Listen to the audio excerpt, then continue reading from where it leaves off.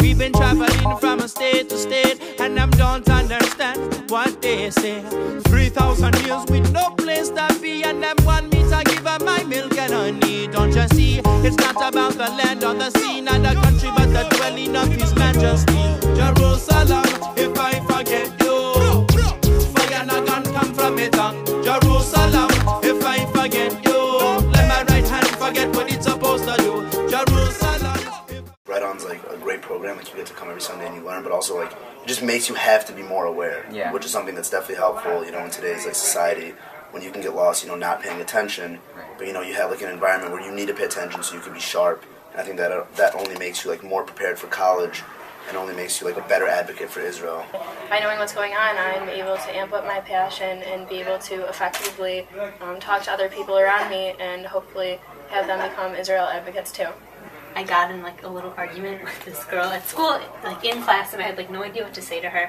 And then now I, I wanted to like know what I could say to her because on college it's a lot bigger scale. and There's gonna be a lot more people. who- בואי, תני לי יד ונלך, אל תשאלי אותי לאן, תשאלי אותי על אושר, אולי גם הוא יבוא, כשהוא יבוא,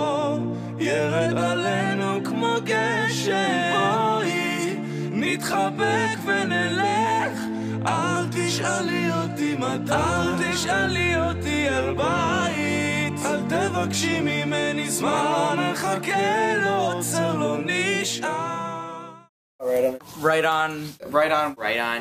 Write On for Israel.